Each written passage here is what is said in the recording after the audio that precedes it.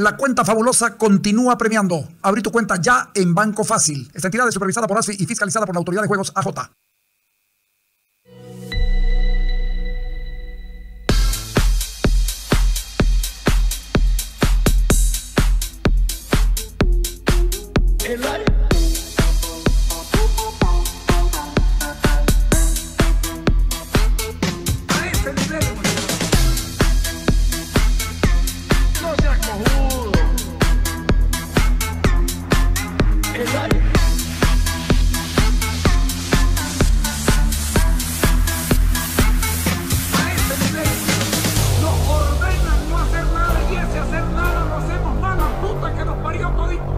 No seas cojudo.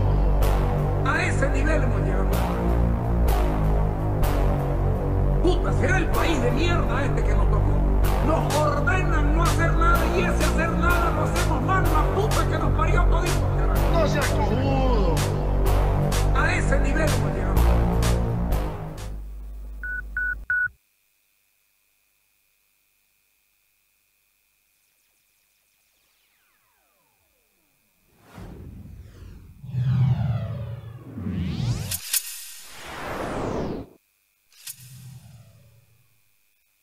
Buenas noches. Hoy es jueves 3 de marzo del año 2022. Faltan 13 días para mi cumpleaños. Lo van a llamar a Pitito y le van a decir, porque ese desgraciado nunca me ha regalado nada en su vida, ni un disco. Así que lo van a llamar todos los días, le vamos a hacer recuerdo. Van a disculpar si notan un poquito de sudor. Se estropeó el aire acondicionado y estamos con 70 grados aquí adentro. Vamos directamente con don Diego Pari, rechazando Bolivia las acciones de confrontación en la ONU. Dale. Que a través de la OTAN ponen en riesgo la seguridad y la paz de otros estados, usando estados intermediarios que favorecen las ambiciones expansionistas de estas potencias de Occidente y amenazan la seguridad de sus vecinos. La OTAN no es garantía de seguridad. Al contrario, es una amenaza para la seguridad internacional, sino solamente recordar el bombardeo a Yugoslavia sin la autorización del Consejo de Seguridad. El resultado, luego de atroces crímenes en la región de los Balcanes, un país totalmente desintegrado. Hoy observamos con sorpresa la doble moral de ciertas potencias, que más allá de buscar la paz, asusan a la confrontación. Las invasiones y la guerra siempre deben ser rechazadas, porque ellas solo traen muerte y destrucción para la humanidad. Consideramos que todos los actores relevantes deben concentrar sus esfuerzos para asegurar un inmediato cese de hostilidades, protección de civiles e infraestructura civil. Bolivia es un Estado constitucionalmente pacifista y rechaza toda guerra de agresión o amenaza de agresión como instrumento de solución a los diferendos y conflictos entre estados. Qué cinismo. Bueno, pero es burro este, ¿no? También no hay, no hay que... Lo que le dan para escribir, eh, para leer es lo que, él, lo que él lee. Pero el que agredió fue Rusia. El que agredió fue Rusia. El que invadió fue Rusia. No hay una doble agresión, no, no hay. Eh, cuando yo me defiendo, me defiendo de la agresión. Y eso es lo que está haciendo el, presidente eh, agredido. Eh, a mí me llama la atención, primero rechazar, pero después te abstenés y no... Y, y lo peor, hoy día leí la estupidez que dijo Pari. China, India y no sé quiénes más eh, se declaran en abstención y eso es la mitad de la gente del mundo. El tipo este es pelotudo de verdad, porque no sabe que todos los países valen por, por su unicidad. O sea, si es frente a eso, cagamos con un barrio de China, digamos. Nos cagó un barrio de China. Puede tener 30 millones de habitantes. Nosotros no existimos, merecemos que nos bombardeen. Más o menos así. Pero es terrible escuchar tanta imbecilidad de parte de los mismos. lo sacan de un lado y lo ponen en el otro como premio a su incapacidad discursiva, eh, a su, a su incapacidad de entender el momento que está viviendo el mundo. El año 2013, el año 2013, ya Rusia financió a un presidente que tuvo que salir de huida, huyendo, exactamente con lo mismo. Los independentistas que se juntaban entre dos y eran prorrusos. Todo este, mírenlo en Netflix, se llama La nieve caliente, algo así se llama. Ahí está, es un documental que ha sido premiado en todos lados, en todos lados. Y ahí uno se da cuenta de que esta gente de, eh, hombre, se me fue, de Ucrania, esta gente de Ucrania tiene una capacidad de resistencia y de resiliencia que lamentablemente, lamentablemente van a tener que morir muchos para que Rusia se entere de quiénes son los tipos con los que está peleando y a los que pretende hacer bolsa. Yo no le voy a negar a nadie que yo pienso que la OTAN este, no es necesario que se expanda como se expande. Pero tampoco le puedo decir a un país, oye, vos no podés ser parte de la OTAN, porque si ellos son parte de la OTAN, sienten que van a ser parte de Europa, de la unidad, de la Unión Europea, y si son parte de la Unión Europea van a ser parte del euro. Y eso les va a salvar la vida. ¿Sabes por qué? Porque la revolución democrática y cultural está haciendo agua por todos lados. Le entra agua desde los pies hasta la cabeza. Estamos reventados, estamos cagados, estamos destruidos como país. El presidente, vaya uno a saber dónde anda, además de la challa, a ver, si, se echó una buena farra, porque nadie sabe qué asearse. Y entonces cuando uno mira todo esto y lo mira a Diego Pari, Diego Pari, la joya, la joya de la corona, mal canciller, mal funcionario, era de viceministro, lo ponen de canciller, por lo menos pues si hubiera sido ministro, ¿no? pero de viceministro a canciller, porque Choquehuanca eh, pegó el portazo. Yo la verdad es que lamento todo esto y lamento que Bolivia eh, nos minimice tanto que un, que un canciller nos minimice. No, no, es que los que están allá son la mitad del mundo. O sea, tenemos que quedar bien con la mitad del mundo. Tenemos que quedar bien con China. Tenemos... China puede darse el lujo de, de, decir lo que está diciendo, de abstenerse en la votación contra Rusia, porque en determinado momento está, está haciendo estrategia para ver cómo puede tomar el mundo y que y que Rusia sea su colita.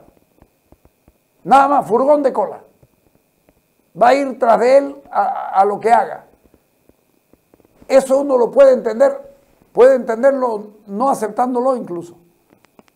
Pero que pare y diga es que entre China, Rusia, India, los BRICS, por eso es que Bolsonaro también tenía ganas de estar por allá. Porque si ustedes se fijan, son Brasil, Rusia, India, China y Sudáfrica. Son los famosos BRICS. Que Brasil, eh, Lula primero y Bolsonaro después lo mandaron a la mierda. Y yo, yo les pregunto, nadie me contesta. Este Bolsonaro que está que están ustedes sacándolo como si fuera el, el ídolo de la derecha y no sé cuánto le digo, no es el que está apoyando la invasión. Si ustedes están contra la invasión, ¿por qué no, no lo mandan a la mierda a Bolsonaro? No, porque, porque tienen esos, esos amores raros, ¿no? Le pega a mamita, pero es un buen tipo. ¿No es cierto? El cortejo mamita le pega, pero viera cómo es de buen tipo. Entonces, no da para no quererlo. Son sus con mamita, son con ella nomás, pero él es buen tipo. Más o menos así, así funciona la lógica de cierta gente.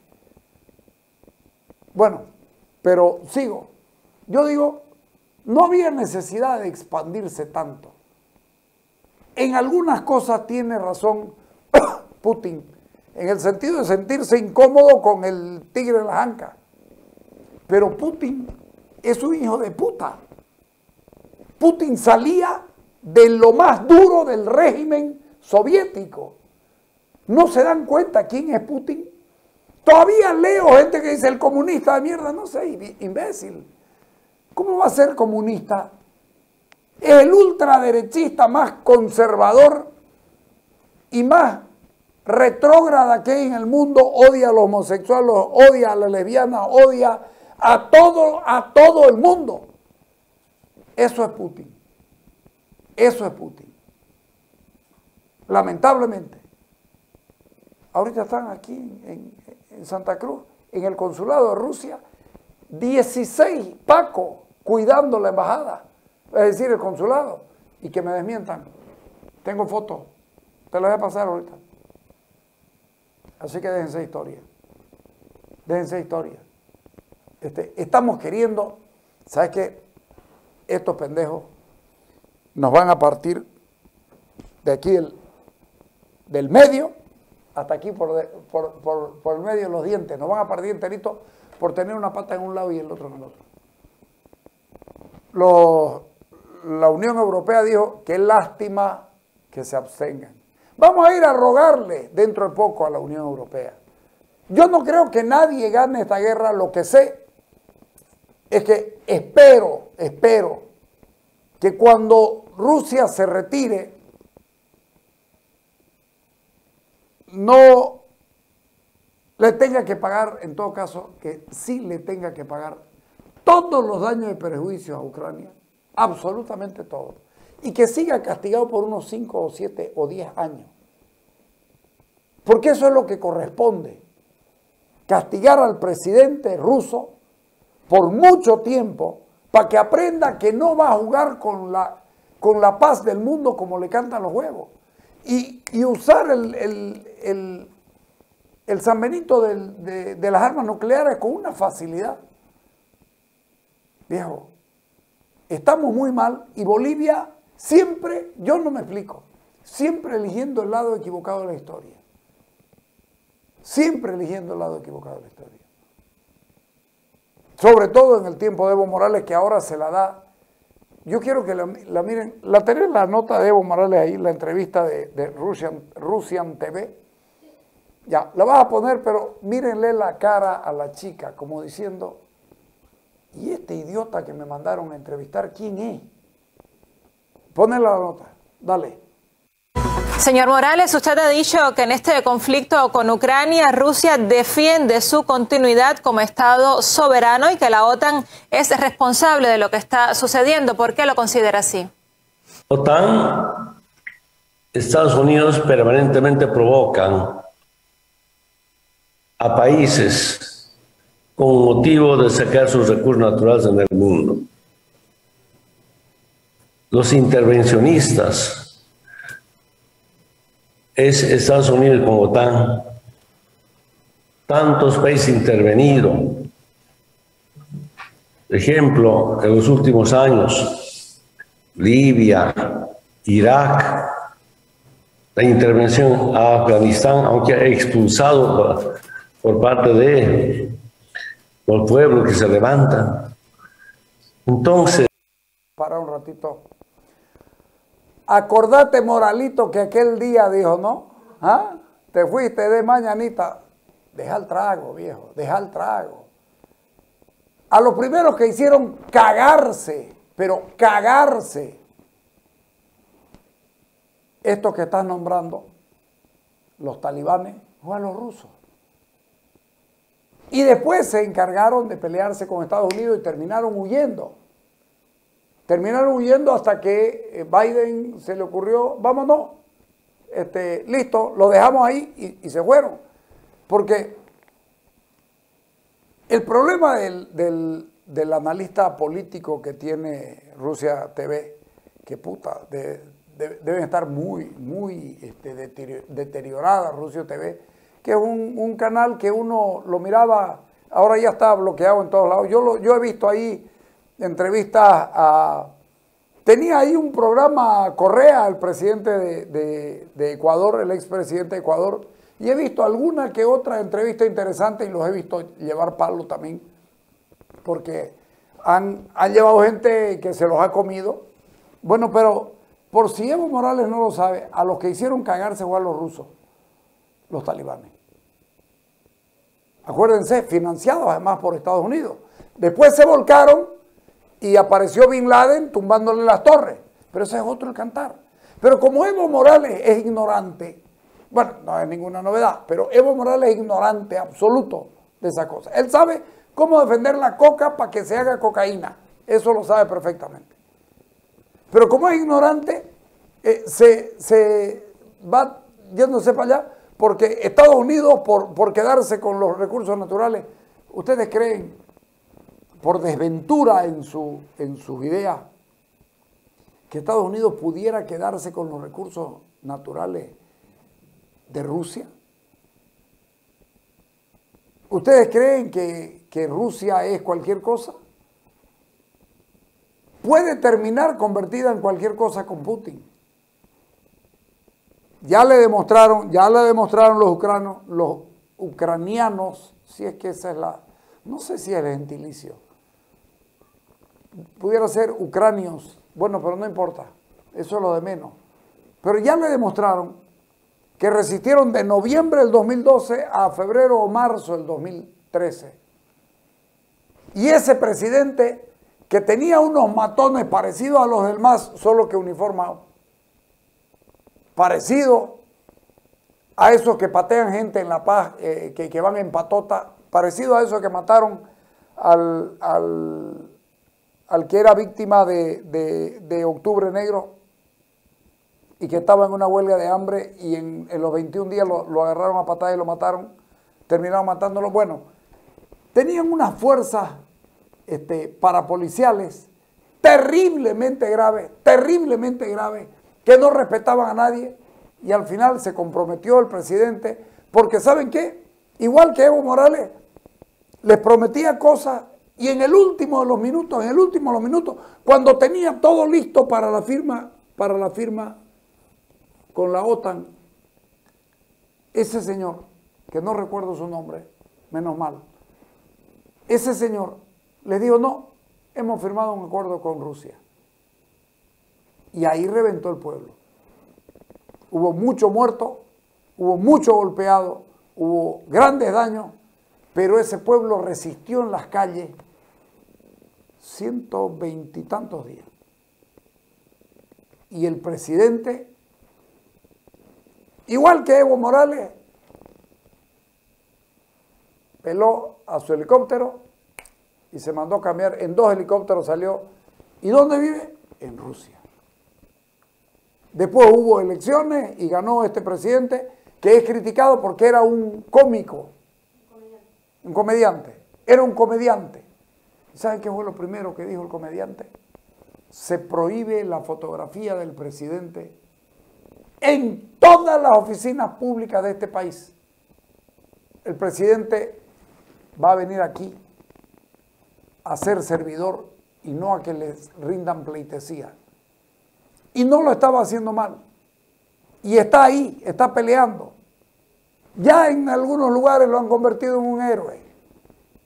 Aquí también, aquí dicen, ¿cómo nos gustaría que... Lo de siempre, ¿no? Lo de siempre. Este, eh, ah, otra cosa que no hizo fue renunciar a su sueldo. Aquí en la gobernación el gobernador ha renunciado a su sueldo. Y yo quiero pues un tipo que, al que se le pueda pagar.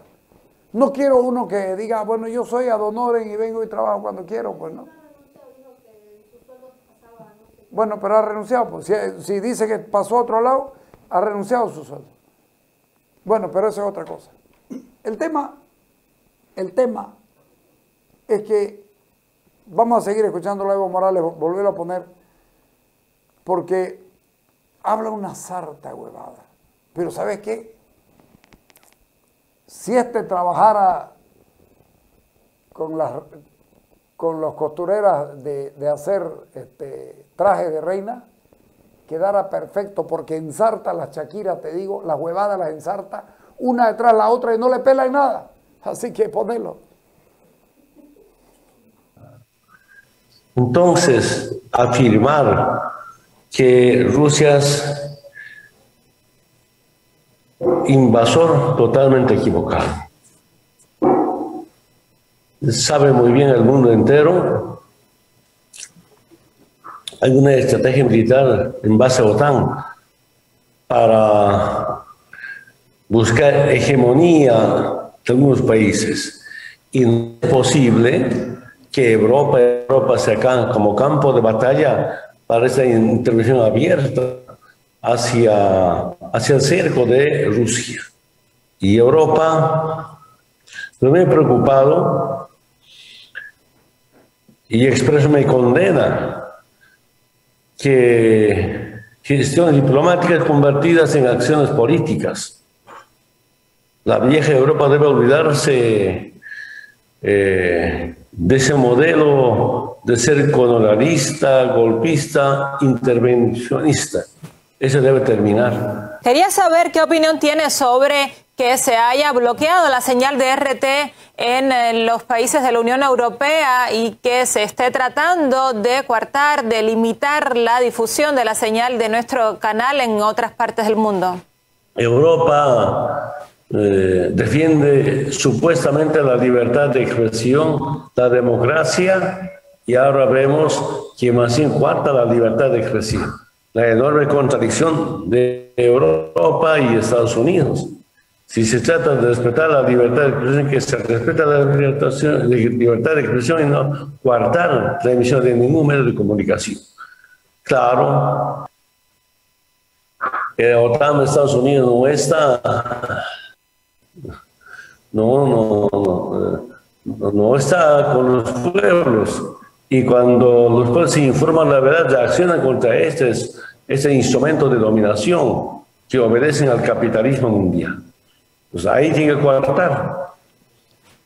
Lamentablemente, yo sigo convencido, los medios de comunicación que responden al imperialismo y al capitalismo son peor que la bomba atómica. ¿Se dieron cuenta? Primero, no se le ha pasado la borrachera. No se le ha pasado la borrachera. Mierda, le ha tumbado hinchado está, ¿no? ¿Ah? Y, qué manera de hablar huevada.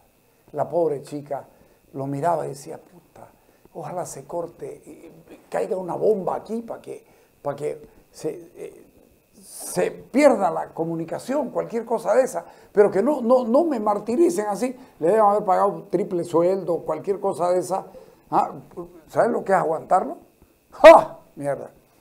Pero además, este, él, él piensa que es verdad que a Ucrania la hizo Lenin. Y Ucrania tiene 700 años, 800 años este, este tipo no tiene límite. Y este país tampoco. Este país tampoco. Porque me van a disculpar, a mí me da vergüenza, a mí también me da vergüenza, pero no podemos hacer nada. No tenemos presidente. Tilín debe estar, debe estar eh, tirándose para el piso y subiéndose, pum, tirándose para el otro para ver si alguien le ríe. ¿Dónde está Tilín? chayando. Claro. El país se está yendo a la mierda y el tipo está como la orquesta del Titanic, sigue tocando. ¿Ah? Y hundiéndose todo el mundo.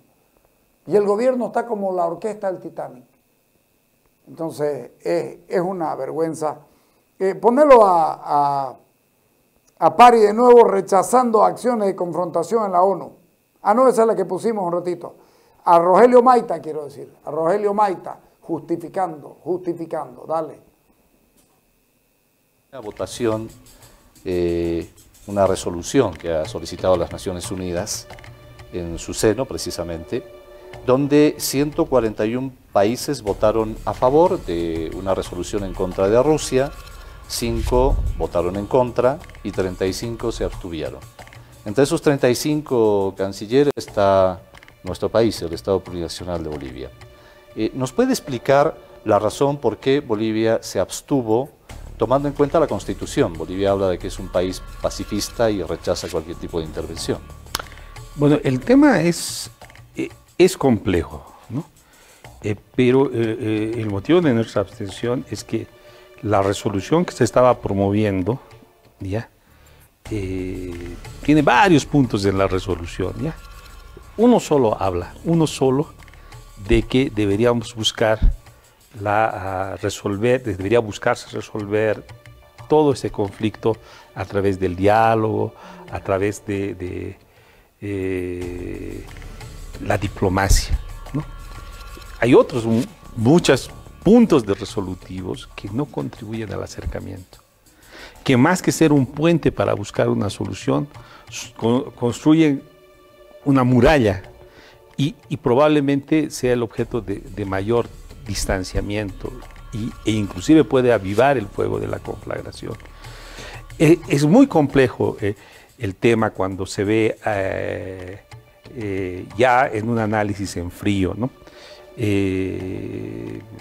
nosotros como país nos declaramos, como pueblo nos declaramos pacifistas y lo hemos sostenido en todos los escenarios nosotros consideramos que la forma para resolver los conflictos es dialogando, eh, si se quiere con un diálogo político, diplomático, pero también entendiendo el centro, digamos, el núcleo del, problema, y que se ha expuesto precisamente en Naciones Unidas, no solamente por Bolivia, sino por varios otros, otros países que han dicho eh, que eh, se debe entender que acá hay un conflicto mucho más grande, que no, no, no minimizando lo que está sucediendo ahí en Ucrania, pero hay reclamos de parte de Rusia de que para ellos era un tema de seguridad de su pueblo, ¿no? Eh, que la OTAN se extienda inclusive hasta, hasta Ucrania. Y tiene eso, esos raíces históricas que datan décadas atrás, cuando se estaba cayendo la, la Unión de Repúblicas Socialistas Soviéticas, la, la URSS, ¿no? Y lo que llamaban el Pacto de Varsovia, que hacía equilibrio con la OTAN, eh, eh, también estaba desapareciendo. En ese momento habría existido un compromiso de palabra de que la OTAN no se iba a expandir hacia el este para no poner en riesgo precisamente la seguridad de estos países que están en, el este y fundamentalmente de la Federación Rusa. Eh, Maita, Maita, cuando se acabó la Unión Soviética, se acabó el pacto de Varsovia. Y los países de los que estás hablando vos eran prisioneros de Rusia, de, la, de Rusia en el conjunto de la Unión Soviética. A todos eso lo manejó como les dio la gana. Han ido conquistando su independencia. Si Maita supiera, si tuviera un poquito de, de amor propio, hubiera leído, se hubiera dado cuenta ¿Cuántos países se dividieron y cuántos otros volvieron a, la ex Unión Soviética, a lo que es Rusia, y, conforman esta la Federación Rusa? Pues, lamentablemente pues no leen, no se esfuerzan. Bueno, sigamos escuchándolo de todas maneras. Las medidas económicas financieras también tienen víctimas. Y también pueden llegar a matar inclusive, ¿no? O sea, eso, eso está constatado. O sea, las medidas unilaterales que se han puesto, las sanciones económicas que se han puesto a Venezuela, a Irán, por, han causado víctimas fatales y son violatorias de derechos humanos. No lo, digo yo, lo dice eh, Relatorías de Naciones Unidas. Entonces, eh, ese, esa es la complejidad del tema.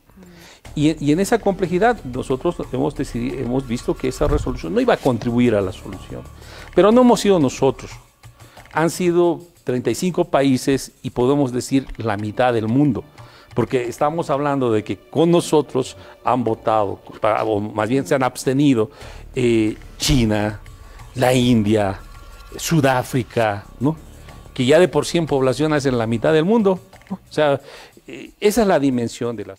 Gracias, viejo, me diste la razón. Había sido Maita. Yo, este, de noche todos los burros son pardos, dicen, ¿no? Entonces uno los ve y le parece que todos son iguales. Pero este, más allá del, mal chiste, eh,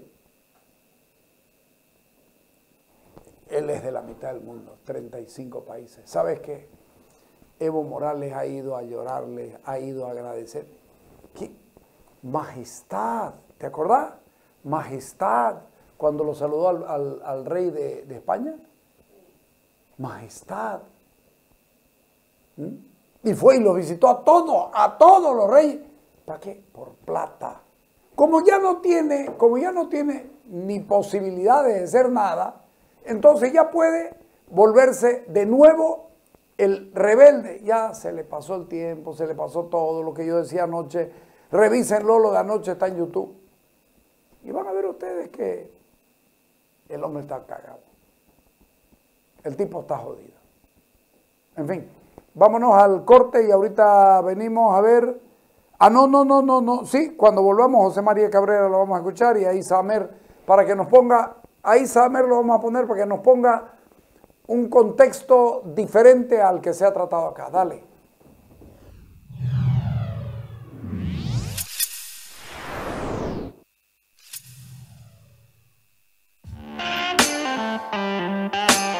El desempeño de la BI de Tank 100% eléctrica es tremendamente bueno, formidable en distintas condiciones de terreno. Sus dos ejes motorizados y bajo centro de gravedad confieren a la BI de Tank un manejo ágil y seguro en distintas condiciones de camino, permitiéndole circular en vías de tierra, piedra o asfalto con el máximo desempeño. El trabajo combinado de los dos ejes suma 482 caballos de potencia, con lo cual la BI de Tank puede desarrollar los 100 kilómetros por hora en 4.6 segundos.